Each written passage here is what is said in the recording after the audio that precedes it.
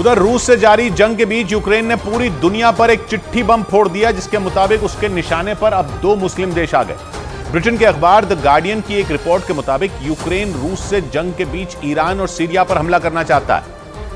और इसीलिए उसने जी सेवन देशों को एक चिट्ठी लिखकर अपना इरादा साफ़ कर दिया। द गार्डियन के मुताबिक यूक्रेन, ईरान और सीरिया पर बुरी तरह भड़क गया और अब वो इन पर हमला करना चाहता है। यूक्रेन ने आरोप लगाया कि रूस की तरफ़ से जो मिसाइलें उस पर दागी जा रही हैं, वो इन्हीं दोनों देशों में बनाई गई।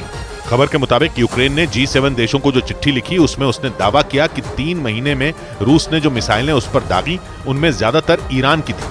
और इसीलिए यूक्रेन हमले करके ईरान की हथियार फैक्ट्रियों को तबाह करना चाहता है। लेकिन अगर यूक्रेन ने ईरान और सीरिया पर हमला किया तो तीसरा विश्व युद्ध छिड़ सकता है। यूक्रेन ने दावा किया कि ईरान के ड्रोन में जिन पुर्जों का इस्तेमाल किया गया वो जी सेवन देशों की कंपनियों में बनाए गए। G seven Canada France Germany Italy Japan United Kingdom और अमेरिका का एक समूह। और इसीलिए यूक्रेन ने जी सेवन देशों को चिट्ठी लिखकर ईरान और सीरिया पर हमले की मांग कर डाली।